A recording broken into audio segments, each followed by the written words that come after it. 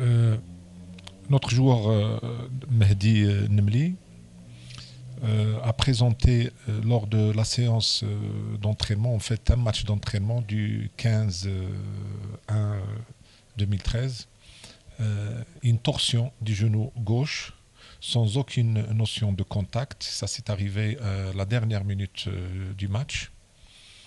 Euh, sur euh, le terrain, nous avons posé le diagnostic euh, de rupture du ligament croisé antérieur, euh, chose qui a été confirmée par euh, l'IRM euh, ce matin.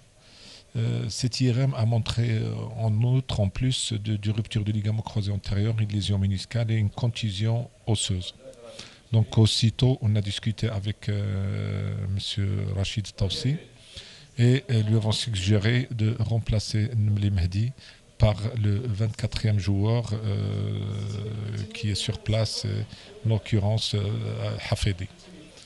Voilà, dès aujourd'hui, on va commencer la rééducation concernant Mehdi pendant quelques, ce qui va durer quelques semaines, parce que c'est une euh, intervention euh, qui sera euh, différée.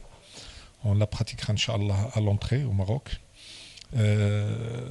Bien sûr, il va nécessiter une, ligamentoplastie. Le moral du joueur, ça va, alhamdoulilah, on fait tout pour, pour qu'il garde son moral. C'est une blessure quand même qui va, vous savez, qui est très fréquente dans, dans le monde du football. آه، ونتمنوا له ان شاء الله آه، باش يرجع للميادين وباش يكون آه، آه، في احسن ما يرام.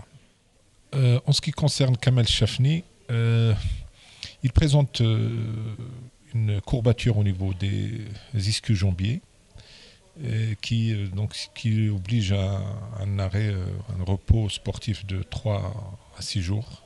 Donc il est en bonne voie de récupération et bientôt, Inch'Allah, il va regagner le groupe. pour euh, Belinda, Belhenda, après une semaine euh, d'arrêt, avec des soins bien sûr, il reprend euh, tranquillement les entraînements avec le groupe. Il est en phase de réadaptation à l'effort. Et là aussi, on est content de, l'évolution concernant Younes.